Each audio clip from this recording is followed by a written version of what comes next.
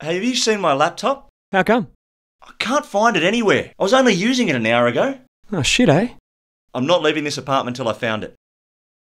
Maybe we've been robbed. What makes you say that? Well, some of my stuff's missing too. You don't own anything.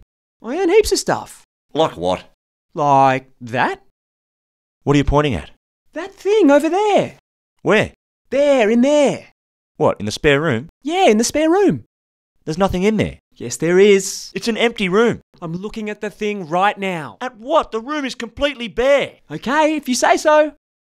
Guess I've just got keener eyesight than you. That's bullshit. You've got better smell, but I've got the eyesight. Sure, sure, whatever. I do. Fine, fine. You think there's nothing in there? I don't give a fuck. This is ridiculous. See? Empty. It's completely and utterly empty. There is nothing in this. Hey! So I think I locked the door accidentally. Tell me when you found it.